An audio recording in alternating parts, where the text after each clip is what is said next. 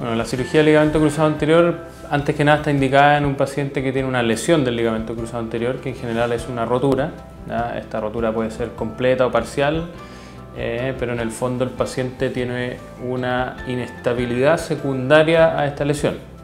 Es súper importante diferenciar la reparación versus la reconstrucción. Este es un ligamento que en general hay que reconstruirlo porque no tiene mucha capacidad de cicatrización. Por lo tanto, nosotros lo que hacemos es colocar un nuevo ligamento dentro de la rodilla del paciente. Lo más utilizado y la primera opción en general es un autoinjerto, o sea, un, injerto tomado del mismo paciente. Como el objetivo principal de esta cirugía es el retorno deportivo, un muy buen outcome para medir la efectividad de esta cirugía es la tasa de retorno deportivo al mismo nivel.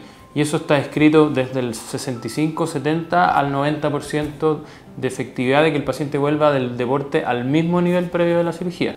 El protocolo inicial es, después de la cirugía, comenzar precozmente con una rehabilitación que tiene como primer objetivo la desinflamación, el tratamiento del dolor residual de la cirugía y el rango articular, que el paciente vuelva a tener una movilidad completa de su rodilla.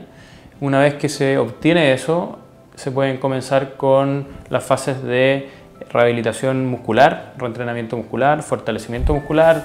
Empezamos con el tema de la propiocepción, que tiene que ver con que el organismo vuelva a sentir hacia dónde está la pierna, hacia dónde está la rodilla y poder tener un, mejor feedback neuromuscular. Nosotros, el equipo de rodilla, de cirujanos traumatólogos de rodilla, tenemos un nexo muy fuerte con el equipo de rehabilitación kinésica expertos en rodilla.